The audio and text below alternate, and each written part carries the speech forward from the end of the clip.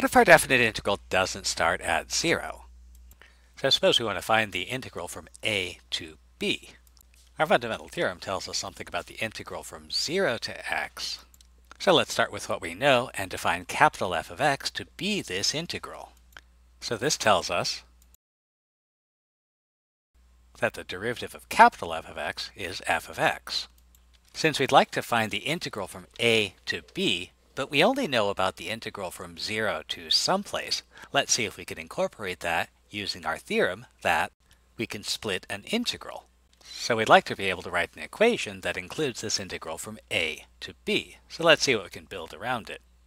Since we know something about the integral from 0 to someplace, let's start with an integral from 0 to a, and this gives us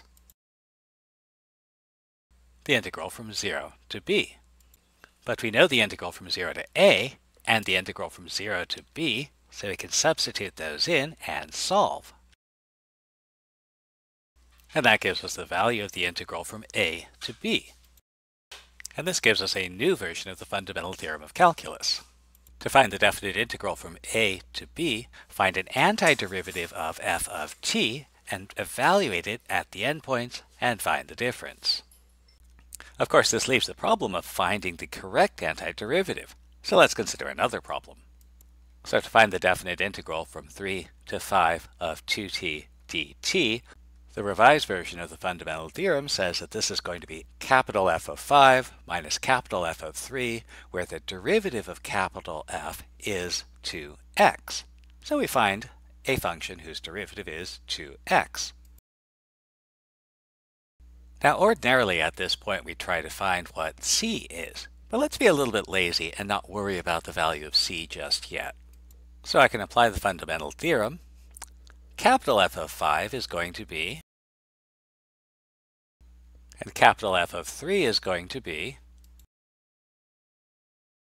and notice that when we subtract them, the value of c drops out and we just get the number 16. And this suggests that the value of c is irrelevant, and so we have a new version of the fundamental theorem.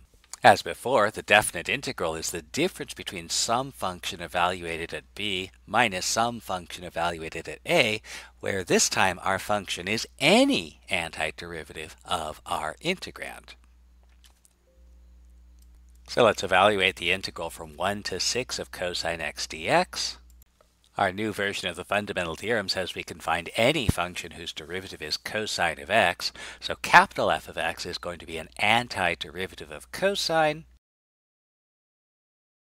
And so that'll be sine x plus any constant we want. Well, let's make that constant 0. So we need to evaluate our function at 6 and at 1. And the difference between the two is going to be the value of the definite integral.